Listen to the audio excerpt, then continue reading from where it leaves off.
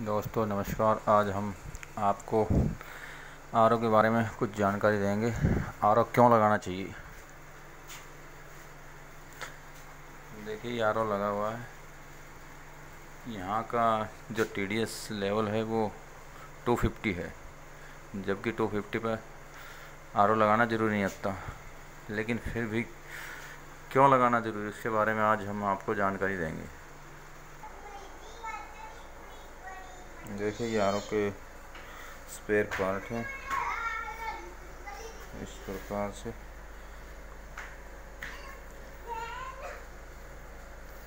यह आपका mineral cartridge है। ये आपका प्री फ़िल्टर हो गया। ये मेम्ब्रेन है। ये मेम्ब्रेन हाउस है। और अब हम चलते हैं। देखिए जो ये है, हमारा परी फ़िल्टर है। हम इसे खोल रहे खोल रहे हैं और आपको दिखाएँगे कि आर क्यों लगाना चाहिए। इसे यहाँ से ऑफ़ कर देंगे। इसके बाद ये वाटर इन हम इसमें से निकालेंगे।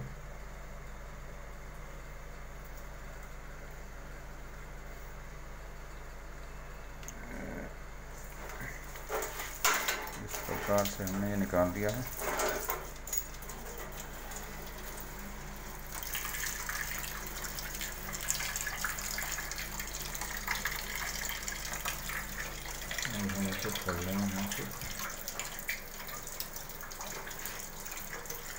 पाइप हटा दिए इसके। जो ऊपर फ़िल्टर है, हम इसे निकाल के अब आपको दिखाते हैं।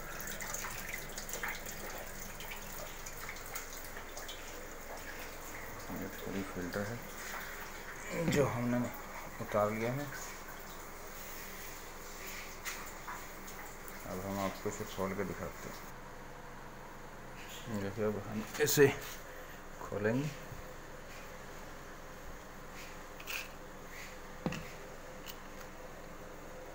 की लगाएँगे की की मदद से इसे खोलेंगे।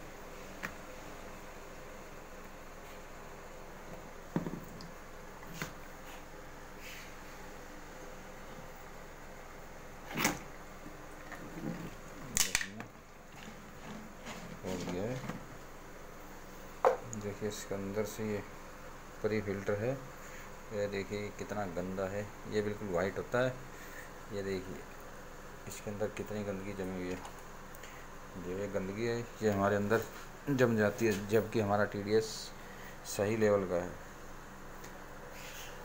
अब हम इसे आप अपने आप घर पे चेंज कर सकते हैं। उसके बारे में भी जानकारी दे देते हैं थोड़ी सी। देखिए, ये परी फ़िल्टर है। जो बाज़ार में आसानी से सौ रुपये का मिल जाता है। देखिए आप अपने आप चेंज कर सकते हैं।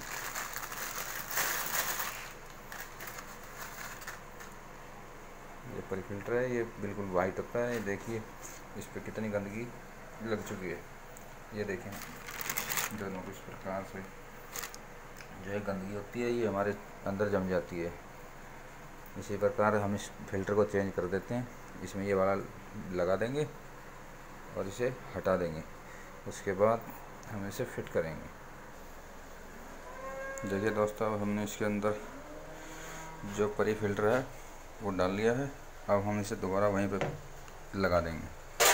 ये देखिए, इसमें दो स्क्रू लगे होते हैं यहाँ पे। इसमें दोबारा से फिर हम लगा देंगे। प्रकार से ये लग गया। वाटर इन वाली पाइप लगाने के बाद हम इसे पानी फुल होने देंगे, उसके बाद आउट वाला पाइप लगाएँगे। आउटलेट पाइप बाद में लगाएँगे। एक बार ये फुल हो जाए, हो जाने के बाद लगाना है वो, जिससे इसके अंदर हमारा एयर ना रहे। जो एयर हमारा मशीन के अंदर नहीं जाए। देखिए अब ये पानी इधर आ चुका है। अब हम इसे यहाँ से बंद करके इसे वाटर जो आउट हमारा अंदर जाएगा, उसमें लगा देते हैं। देखिए अब हमारा आरओ दोबारा से फिर चालू हो गया है। ये जो परी फ़िल्टर होता है, ये तीन महीने में चेंज करना पड़ता है। आप बीच बीच में हर महीने इसे साफ़ भी कर सकते हैं, जिससे इसकी लाइफ थोड़ी और ज़्यादा हो जाएगी। ये लगभग चार पाँच महीने चल जाता है। दोस्तों, मेरा वीडियो आपको अच्छा लगे तो लाइक व सब्सक्राइब ज़रूर करें। धन्यवाद।